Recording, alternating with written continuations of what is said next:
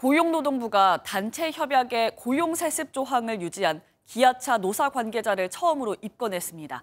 윤석열 대통령은 고용세습을 가리켜 현대판 음서자라고 말하며 반드시 근절해야 한다고 목소리를 높였습니다. 김민수 기자의 보도입니다.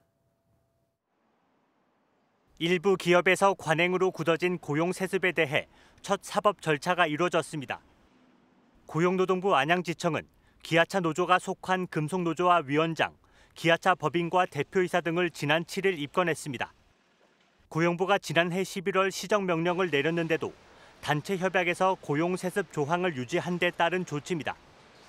문제가 된 조항은 재직 중 질병으로 사망한 조합원의 직계 가족 1인, 정년 퇴직자 및 25년 이상 장기 근속자 자녀에 대해 우선 채용한다는 내용을 담고 있습니다. 고용부는 해당 조항이 사회적 신분에 따라 차별을 받으면 안 된다는 헌법과 합리적 이유 없는 차별을 금지한 고용정책 기본법을 위반했다고 보고 있습니다. 윤석열 대통령은 고용세습 관행을 이번 기회에 근절하겠다는 의지를 드러냈습니다. 윤석열 대통령은 오늘 수석 비서관 회의를 주재하면서 미래 세대의 기회를 박탈하는 고용 세습을 반드시 뿌리 뽑아야 한다고 지시했습니다. 대통령실 고위 관계자는 과태료 500만 원에 불과한 고용세습의 형사처벌을 강화하는 방안을 정부가 검토하고 있다고 전했습니다. MBN 뉴스 김민수입니다.